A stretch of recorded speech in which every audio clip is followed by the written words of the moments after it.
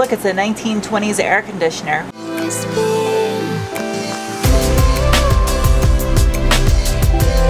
Hello. I'm coming to you live from my Sarah-n-Tuned garage casting couch. That's right, I have a casting couch in my garage. anyway, work on Project Sir Codsworth today, my SVT Focus Rally project. All you new folk, link up above. We'll take you to the last video where we worked on that car. Alright, this thing's gotta get in the garage, I gotta push it.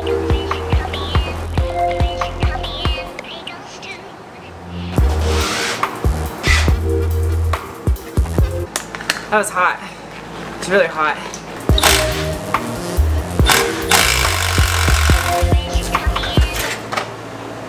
This is going through the firewall.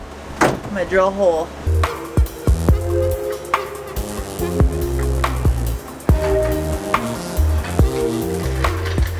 So you can't access the firewall from underneath the car. It's completely blocked from the subframe. I gotta do it all from the top. This stuff can go. It's a race car, I don't need it. Boom. Ah. Wow, that floor looks good underneath there. Look at the back side of that. No wonder it stunk in this car. There we go. See it right down there? Just above the plastic cover for the steering column. So that's exactly where I want it. I forgot I have this thing, the stepper bit.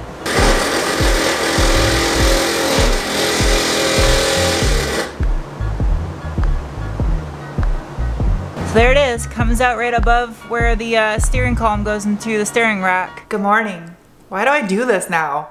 With my hand in my videos, I don't know. So the next morning, I'm taking the GoPro with me today. I got some errands to run. Uh, I'm gonna try to get the MR2 registered and I gotta go get a circuit breaker because I forgot last night when I went to the auto parts store. I totally forgot the main thing I needed to get. I just got the MR2 registered. It's legit now, no more temporary registration. It's good to go. I'm so happy. Now I can start driving this thing. All right, auto parts store and then uh, get back to the garage. It's a brutal one today the temperature. It's 94 right now and it's 11 a.m. Yes, I changed my shirt because I don't want to get that outfit dirty. And I got a different switch. Listen to your feedback. This one interrupts the ignition. So, good to go. Cue the time lapse because it's time for your girl to put in some electrical work.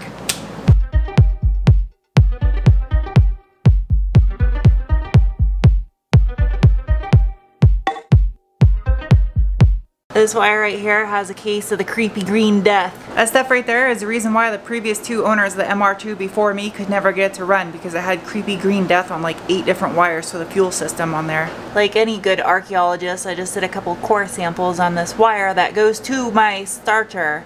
And as you can see right here, creepy green death. You go back an inch or two, nice fresh copper. If I would have had to go back any further on that wire, I would just replace the entire thing. But it looks fresh just an inch or two back and that will still work for me. So, yay.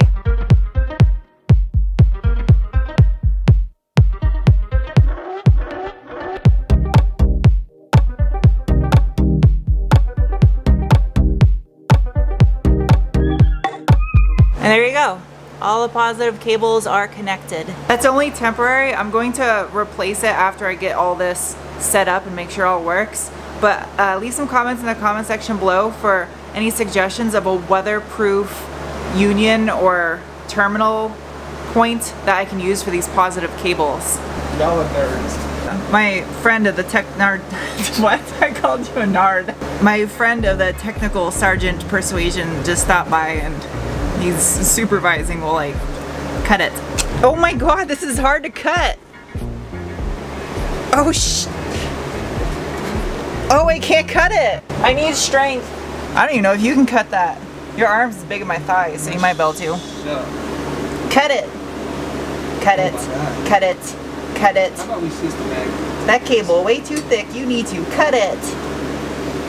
I swear. By the moon and the stars sky. is this all for one or is this the country? And I swear. hey, it's cut. Thank you. Welcome. That's I every once in a while I gotta invite some muscle over when I got stuff that needs to be cut. Okay. So now now that I got this cut. Oh damn. I just realized I used all of my terminal lugs under the hood of the car. This is now my third trip to the auto parts store in 24 hours. Like my nails. Gold. In that bag right there is 10 pounds of dry ice to break up the sound deadening material throughout the chassis of the car. I'm gonna finish routing all these wires and get ready for the breaker and the kill switch. So cue that time lapse.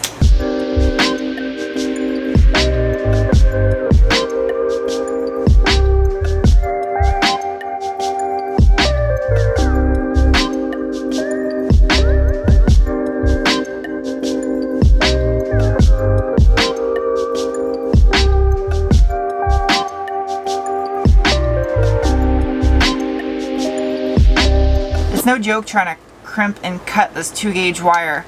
This stuff is crazy.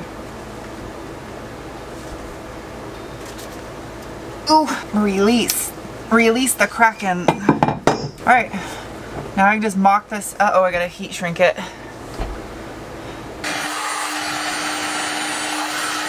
Alright, so I think I can try to start the car now. I have everything but the breaker and the ignition kill part wired up. So I'm gonna, I'm gonna try this. I don't know where the keys are at though. Keys. Ground wire to the battery is bolted in where the rear seat bolted to the frame of the car. Let's see. Okay. No sparks. Kill switch is in the on position. Oh, there goes my wipers. Looks like everything works. See if this car starts. Here goes nothing.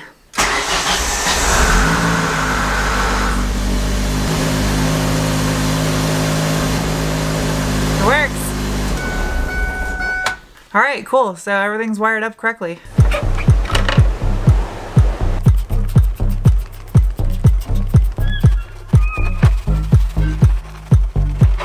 You guys know I wasn't gonna leave this thing dirty when I put it back in the car. That's not my style. And I am putting the battery shut off switch right here in the center console. Don't worry, I'm not racing this car in the World Rally Championship. It'll be fine right here where it's at. That'll work right there.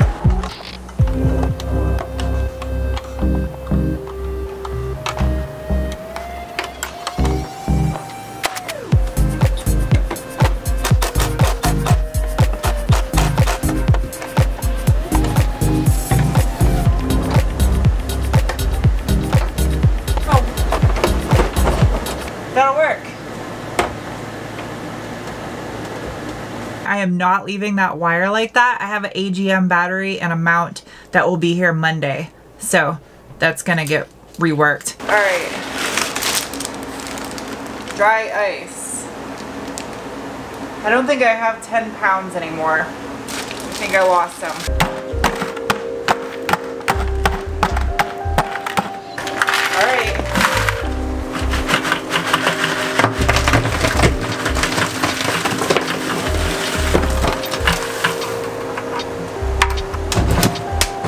Oh, it's working.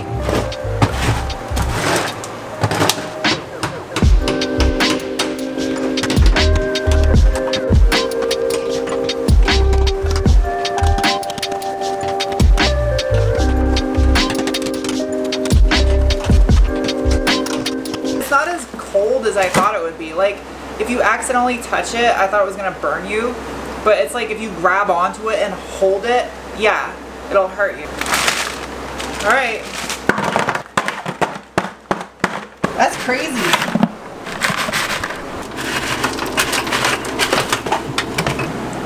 Look, it's a 1920s air conditioner.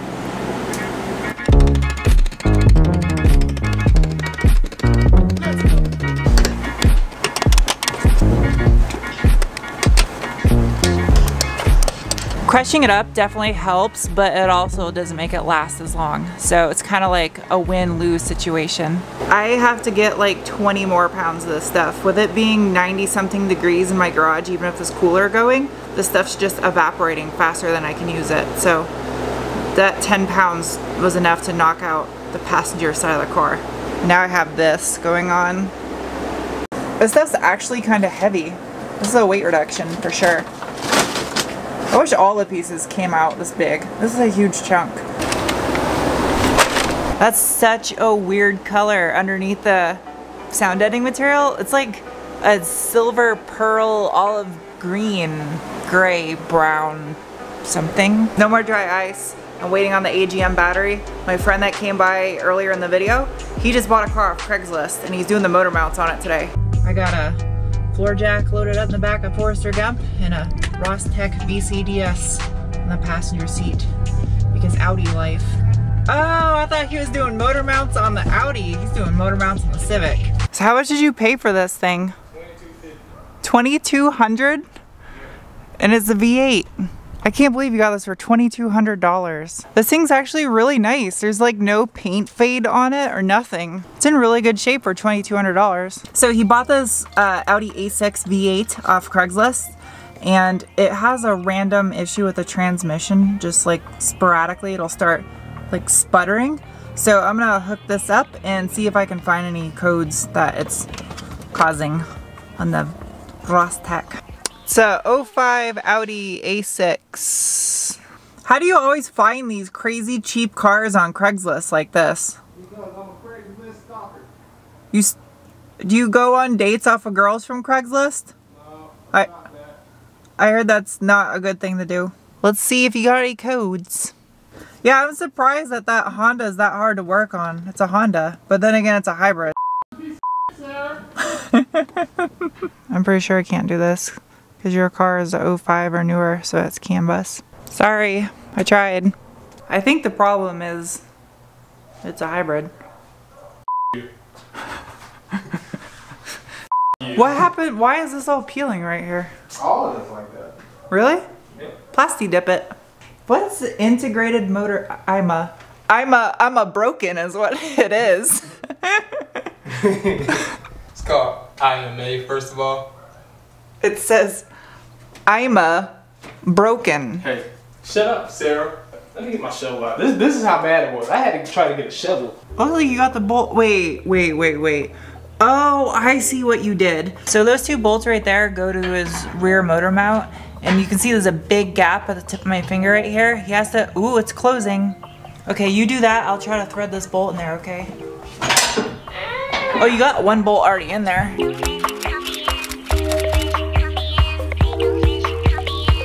You called me ugly. I said you're hungry. That's what I said. And then you took my f***ing shoe, like wearing the f***ing hood. And now you're trying to take the other one so you can throw it on the light pole. That's what you get. It's on top of your car. You ain't gonna snatch no shoe off of me like that. So guess who got his motor mount bolts in? Who? The girl holding the camera got your motor mount bolts in. Yeah, you did. Yep. Mobile mechanic Sarah went for the goal and she got it. I Found your shoe. Oh, thanks, Sarah. I seem to have misplaced it. This is probably one of my more random, all over the place videos I've had a while on my channel, but sometimes it's just needed. So, uh, yeah, let me know in the comment section below. What do you want to see? Do you want to see MR2 content or do you want to see more focus content in the next video? I have parts for the MR2 and I'm going to have parts for the focus. So you let me know and that's what we'll do next. And today's the first day of summer. Well, the day I'm filming this. So happy summer. Is that a thing? Do you really say happy summer to people? Anyway, happy summer. I'll see you guys soon with another video. Bye. This cable way too long. I need to cut it.